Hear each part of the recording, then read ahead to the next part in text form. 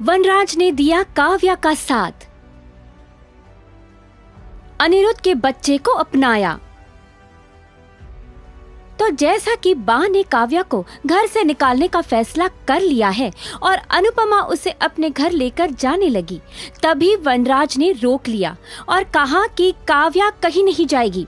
मैं उसके बच्चे को अपना लूँगा, क्योंकि मुझे पछतावा करना है जो धोखा मैंने अनुपमा को दिया था। जब आप लोग ने मेरे धोखे को माफ़ कर दिया था, जब अनुपमा ने मुझे माफ़ कर दिया था तो मैं क्यों नहीं करूँ? बा ने वनराज से पूछा कि तू अनिरुद्ध के बच्चे को अपनाएगा?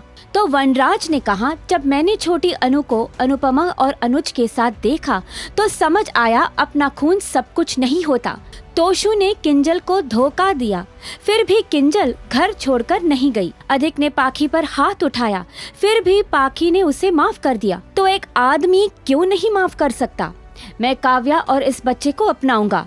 तो देखते हैं अब कहानी में क्या नया मोड़ आता है।